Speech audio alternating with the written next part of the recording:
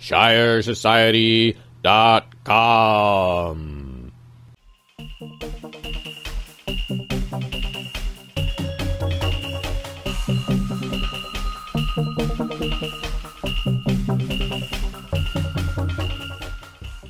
Steve Castor, um, Six Sergeant Drive, and if I go over a little bit, I, I will try and curtail it because it's uh, the exciting story of my son and his Washington D.C. trip with the eighth grade class. It was just a really successful time, and encourage anyone to uh, seek out this because it was very worthwhile for everybody. What do you like the most about the district? Um, they're very accommodating. Um, they support uh, families. They embrace the families.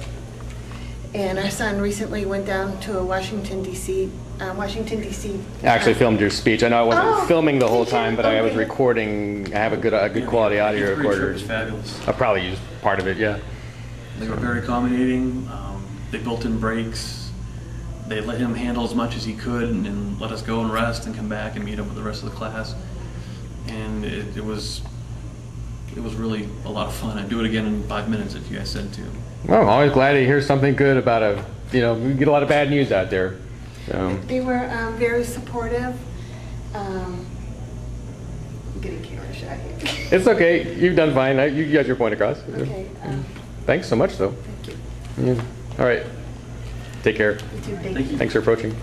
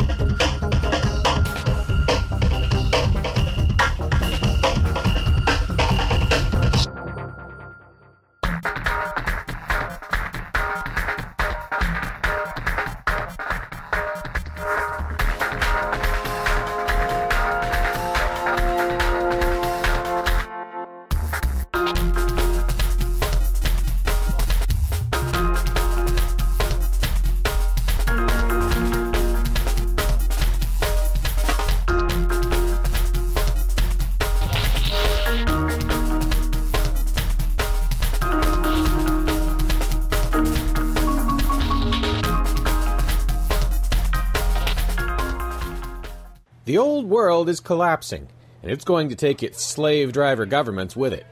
But what will rise up in their place? In New Hampshire, the Shire Society has a plan, a thriving web forum, and a history of action.